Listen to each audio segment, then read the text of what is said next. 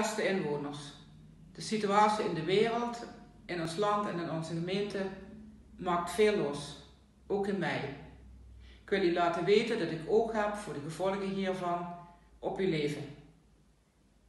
En ik begrijp dat u bodemvol vragen zit en ik zou willen dat ik deze allemaal zou kunnen beantwoorden. Maar helaas is nog veel onbekend en dat maakt de situatie ook zo moeilijk en lastig. En het enige wat we nu kunnen doen is vertrouwen op en gehoor geven aan de adviezen van deskundigen. En ik wil iedereen dan ook dringend vragen om deze adviezen en de maatregelen serieus te nemen en op te volgen. Alleen samen kunnen we deze situatie weer te boven komen.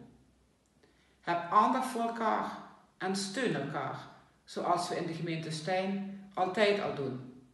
We moeten deze situatie samen te boven komen.